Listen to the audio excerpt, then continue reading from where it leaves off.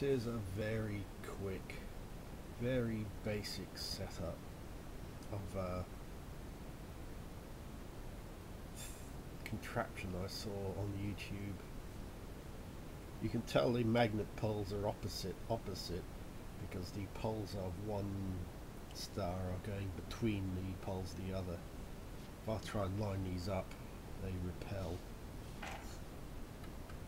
Now, they're repelling each other, but if I pushed a bar in between them, in theory they should attract the bar on one side, and by pulling together on one side like so, and attracting and attract and repelling each other I need to pull this out again, it's flopping around. The bar itself's a bit loose. Um, by repelling each other, but by being attracted to the bar, if they're being attracted on this side and repelled on that side, they should spin. The idea is, is that they spin without any input of energy whatsoever, uh, and I patented the idea and make myself incredibly rich. unfortunately, that's where the fairy tale ends, because the bar has some difference. You can see them move slightly. I push it in, but then they find an equilibrium. Now, trying to figure out the magnetic force lines is what's going on, and unfortunately beyond my imagination. But uh, got a pair of low friction bearings. It's all very wonky. It's, it's, it's really a very quick knock up. Um, with a pair of low friction bearings, you know, if anything's going to turn, that should. But it doesn't. And even as I'm sat here filming, I'm trying to figure out where the flux lines are going. It's almost as if there's a load of springs between each one pushing them apart. And even though I've just pushed, distorted the springs by pushing the bar in, you know, magnetic springs, magnetic fields, it's uh, found an equilibrium. And uh, I can't figure out in my head how that is. Why take another magnet? I've got I've got two colours of Geomag set here. It's a combination, a very knock-up combination of Geomag and Fischertechnik. The Geomag's the coloured magnet and the Fischertechnik's the grey stuff. Um, yeah, that that's an opposite pole. It's repelling. Repelling the poles of the star. But if I turn it round, it does actually attract it. So again, oops, you put the magnet between it should attract on this side and repel on that side and the two stars should spin furiously until they fly apart with an unimaginable force but they don't they just kind of sit there so uh, perpetual motion machine spectacular fail now I know according to the various principles of physics was it Newton's famous spoil sport law that says you can't get something for nothing well, this machine shows no no uh, wish to defy that law. The problem is I cannot figure out what's going on. I can't picture in my head what's happening with the magnetic flux lines. And uh, that's an office, That's obviously a track.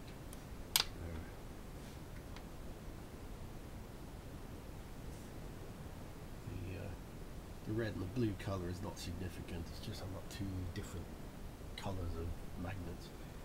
Uh, these are getting a bit wonky and just wondering what the grey stuff is. It's called Fischertechnik.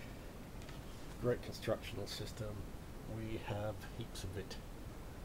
Uh, um, good stuff. There's more of it over there in those stacking boxes.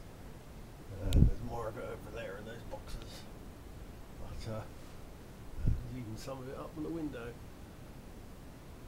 There's two solar panel stands made of it but no that's Fischertechnik and the other stuff when the exposure readjusts itself is a, a geomag set well actually two small geomag sets but, uh, they're just sort of silvery balls and magnets that clip together to make uh, various things.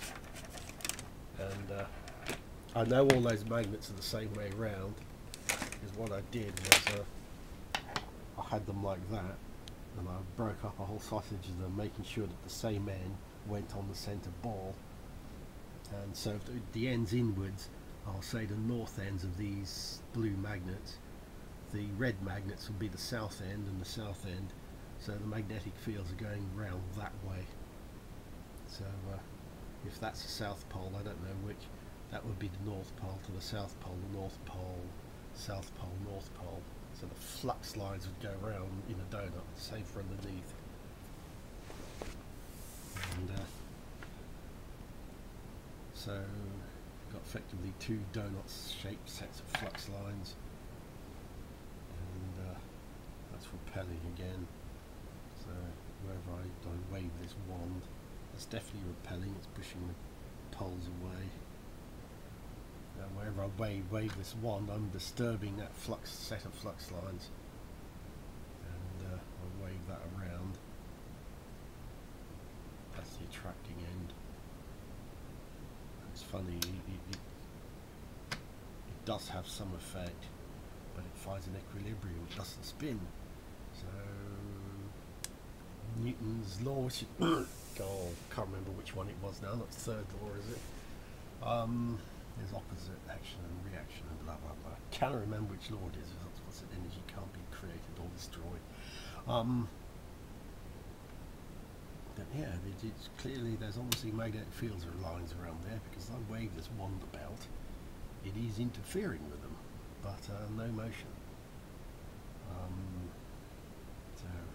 God, I've been filming for seven minutes. God, I've rattled on, haven't I? Now, it's a great advert for Fischertechnik um, and Geomag. I mean, there's more Fischertechnik. That thing there is an electronic controller. It's, again, it's Fischertechnik. You can program it on your computer that makes things move. Very intelligent piece of kit. But uh, unfortunately, it can't run without energy, which is what we've been trying to do here. And uh, does seem to be magnetic flux lines do seem to have a way of compensating for what you're trying to do and in effect thwarting world domination. Um,